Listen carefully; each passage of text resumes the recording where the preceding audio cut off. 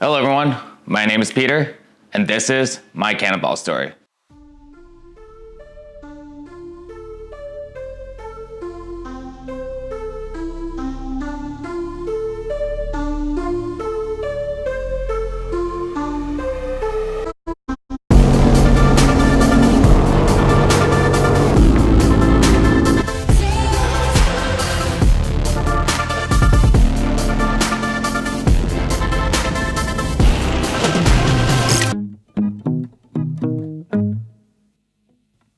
Now, before I just jump right into my race across America, I need to start from the very beginning so you can get into my head and understand the method to my madness. From the mental hurdles, it went through planning, choosing the vehicles, building them, and of course, the cannonball run itself. So without further ado, let's start with part one, El plan.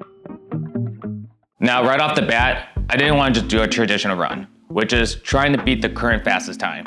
Maybe in the future, but for my first cannonball attempt, I wanted to try something different, a little crazy, and that was to be the first person to complete a non-stop run on a mini motorcycle. Now I'm sure if you are laughing because with just basic math, it's just impossible to do. And also, who would willingly choose to torture themselves in that way? But anyways, the obvious issue is speed. Add that with the distance, and that equals, well, you going to an urgent care for hemorrhoids for sitting on a mini motorcycle for so long. But the mini motorcycle I had in mind was my Honda Grom. It has a tiny 125 cc's with four gears and a top speed around 70 miles or so in perfect conditions. But realistically, it cruises about 50 to 55 miles an hour. Now, if you're thinking it sounds a bit crazy to attempt a coast-to-coast -coast run on a Honda Grom, you are correct, it is crazy. But I am no stranger when it comes to long rides on a small bike. I've already taken my Grom from Texas to Tennessee, Texas to California, and I've done hundreds of thousands of miles in a regular car and truck and camper van. So riding from New York to California doesn't seem that huge of a leap. However, doing it non-stop with only gas stops, now that's where things can get interesting. Also, the average speed of the Grom would most likely be around 50 miles an hour since we have to factor in the little 125cc motor struggling in different elevation changes. So the average speed of 50 miles an hour over a span of 2,800 miles an hour, well that'll take roughly 56 hours to go from coast to coast. Oh wait, there's more. I didn't even factor in the additional time it'll take to get gas, use bathrooms, and all that stuff. So you get it.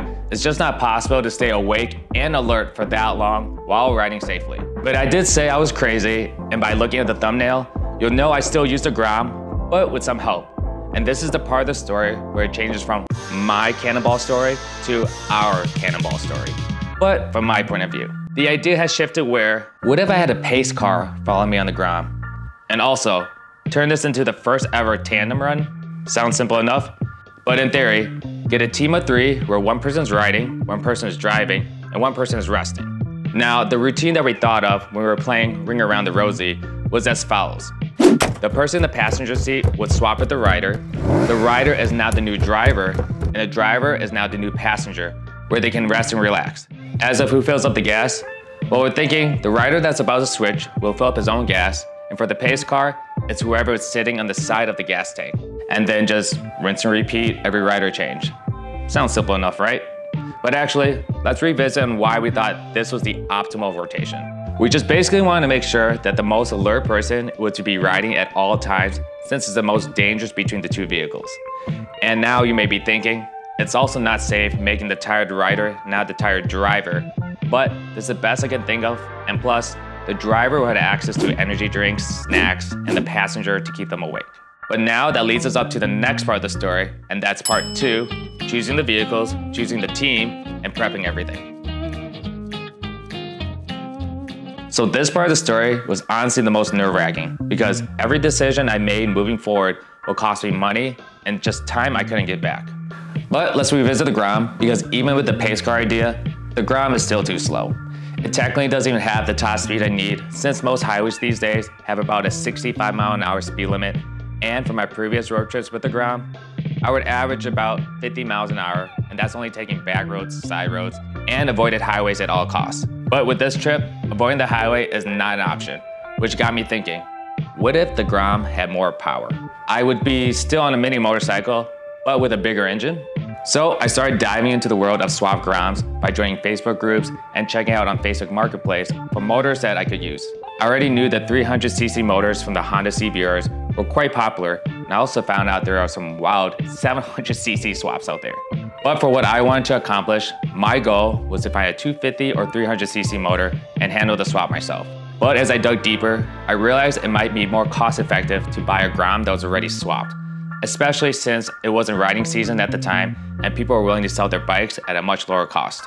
So after a few weeks of searching, I found a great deal on an SF Grom with a CB250R motor loaded with all the goodies I wanted. So I took a quick day trip to Alabama and picked that up.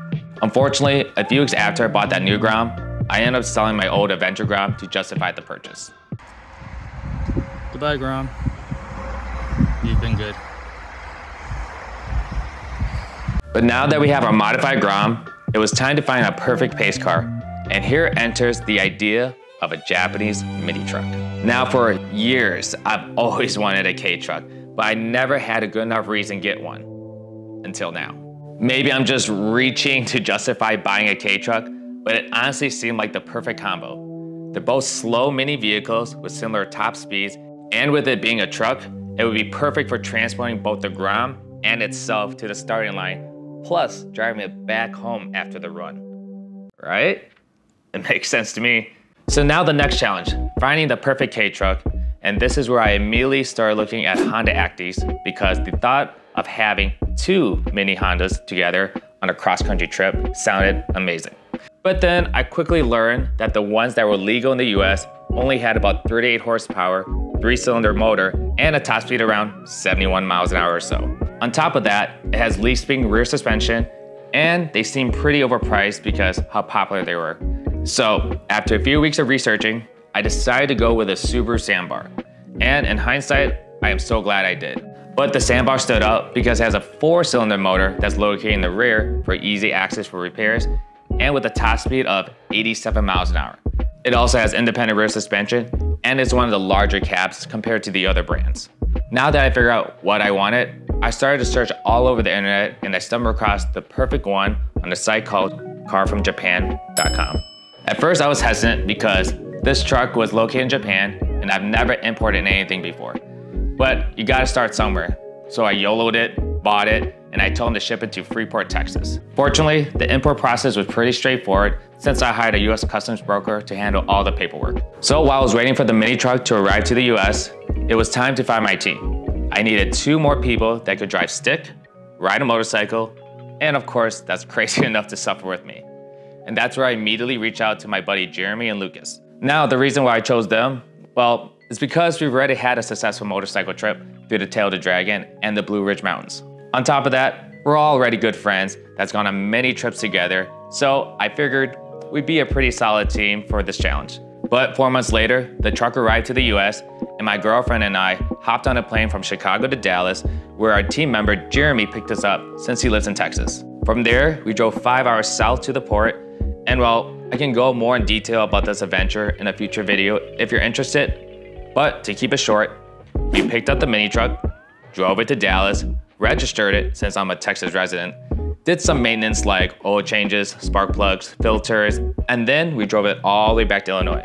Now, if you're curious why, it's because at that time, I was living in Illinois, building out a camper van with another buddy. Oh, and along the way, I did a little side quest. I proposed to my girlfriend during a hike we had in Arkansas. She's always been super supportive, up for wild adventures, so the idea of proposing to her on a trip with a very uncomfortable small truck that we didn't know was gonna make it back home seemed like the perfect proposal for us. But after completing that side quest, we made it back to Illinois without any issues at all, and I was a very happy man with a very happy fiance. So now that we had all the vehicles secured, the team, and also we figured out a date, it was time to put my head down and spend the next few months prepping everything.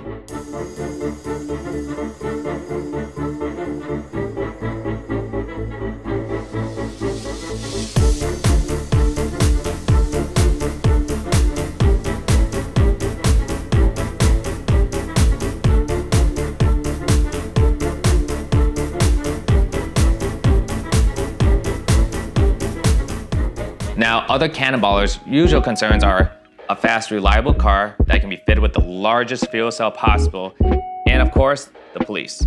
But for us, it was purely just reliability since we're not breaking any speed limits and we just need to get across the country safely in one piece. For the mini truck, it's 31 years old, it's carbureted, it wasn't designed to go on the highway. And for the Grom, it has a swap motor, so reliability is key. But even though I just mentioned reliability for the Grom, I wasn't actually too worried about the motor itself since it's still a Honda. But I did take apart the bike to make sure the swap was done correctly, did some basic maintenance, and I also found a guy named Paul to expand the capacity of the fuel tank, making it an extra gallon. It's not much, but better than nothing. However, my main goal was to turn the bike into an adventure Grom like my last one. So I had some new things like a new mirror, headlights, a windscreen, a dash cam with Apple CarPlay, and a bunch of other stuff. I also had Ken from IKG Moto to double check all my work and correct anything I missed. Thanks again, Ken. Now, the Kei-Truck, well, that's a different story. These trucks just aren't built for long highway stretches. So I was worried that it might overheat and blow up if I'm being honest. To avoid that, I tried making it as reliable as possible with the budget that I had. So I put on bigger wheels and tires, replaced the brakes, the muffler, and did other maintenance like head gasket, water pump, timing belt, thermostat, belts, fluids, you got it. Basically just a long laundry list of things that a 31 year old truck probably needs. But again, keeping the truck from blowing up was my main concern. So I added an oil cooler and upgraded the radiator fan. Also, through my Facebook group, I met a guy named Nick. And Nick runs a fabrication shop out of Texas, and he's been a huge help. He fabricated me a rear bumper bar that replaced my old engine cover that basically acted like a parachute. He also fabricated me a top engine cover with a cutout of a 10 inch radiator fan. My plan with that fan was to use it whenever the truck was idling or in stop and go traffic just to keep airflow going to the motor. Nick also had a brilliant idea of adding a mister system to the radiator because race truck. So I repurposed one of the windshield pumps from the truck and replaced the line with one that had a bunch of misting nozzles and I zip tied it to the radiator. Simple as that. Now, did it keep the engine temperatures down? I don't know, but you'll have to wait to find out. But that's about the major things I did to both vehicles, and I'll go more in depth of each setup in future videos. But now the prep is done, and it's time for part three, the adventure to New York. Now, since I had a main truck, I opted to drive to New York instead of shipping everything. So because of that, I loaded the Grom on the back of the truck and I set off on the 800 mile journey to New Jersey since it was cheaper to stay in New Jersey than New York. Wow, that was a mouthful. But anyways, I left on a Sunday, made a pit stop in Cleveland for a night. I think I got the furthest room ever. It's like leg day right now. Met some cool people in Pennsylvania on the Monday and rolled into New Jersey that night. As soon as I arrived, I did an oil change in the hotel parking lot, and then I let the Kei truck and myself rest for the next 48 hours. On the morning of the fourth day, I picked up Jeremy from the airport, followed by Lukasz a few hours later. We hit up Costco for supplies, got some gas, had a beer, and did some last minute planning. But our plan for the rest of the day was to take a power nap, wake up at 2 a.m., and then head towards the Red Ball Garage by 3 a.m. At this point, I was honestly a bit of a mess. I was so focused on getting the vehicles all sorted that I neglected the electronics I needed to record the entire trip. Yes, I did have 48 hours at the New Jersey hotel, but nonetheless, that left me up to around midnight getting only about two hours of sleep. Whew, man, I'm already exhausted telling you guys this story and the cannonball run hasn't even started. But this is why I want to share and give you a backstory to give you an idea of the effort that it goes in prepping something like this. And believe me, I'm leaving a lot of it out. But now it's on to the part that you're really interested in, and that's part four, the cannonball run. And well, how it all went down. Now day four started off very slow, as none of us had much sleep. But we got ourselves together, went down the elevator, went through the hotel lobby, got the vehicles all set and prepped, and then we were finally on our way. While we were on our way to the Red Ball garage, we made sure that everything was strapped down properly in the back of the truck, and we also checked all our comms and recording gear. Of course, when we got to the starting line, the SD card in the GoPro was already corrupted, but thankfully I had a backup ready to go. Also, when we arrived to the garage, is when I started to get very anxious. Knowing that we're finally here, it's finally happening, and a million things are going through my head. But it was go time, now or never, so we had a quick pep talk, took some photos and videos to document the start, and counted down from three, two,